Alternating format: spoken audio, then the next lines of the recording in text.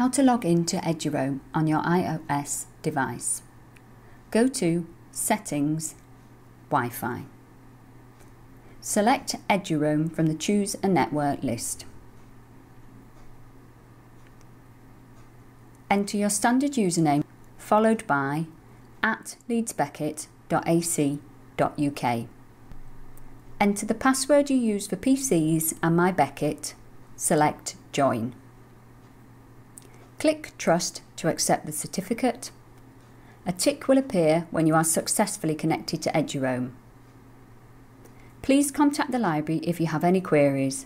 Our contact details are available on the library website.